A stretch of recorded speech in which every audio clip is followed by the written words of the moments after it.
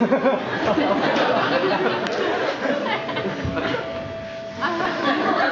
I see before me an army. Young men and women. Opposite songs of And I come to you today not to ask you to fight, but to open your hearts. Leave and you'll survive. Stay and you make it up. But imagine, many years from now, lying in your bed, wondering what it would have been like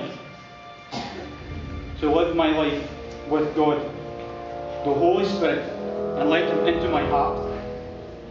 What would you give to have one chance, one moment, one day to feel that peace? So I say to you, young adults of St. Thomas More, you may take our lives, but you will always have your spirit